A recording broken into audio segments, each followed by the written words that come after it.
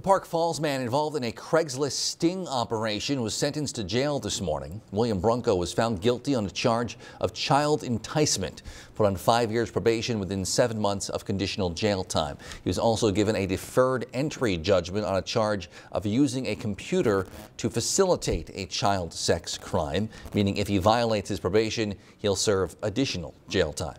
Place on probation for a period of five years in order that you do seven months in the Oneida County Jail. I'll allow you to serve that in Price County.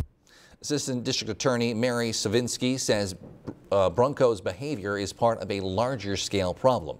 Uh, Mr. Brunkow, as with the other defendants uh, who have come before the court for similar, similar behavior, um, is contributing to just uh, a horrendous uh, problem in this country and in this state. As part of his sentence, Brunkow will be required to report to again either the Oneida County or Price County Jail on or before April 10th at 8 a.m. with a review hearing scheduled for late December.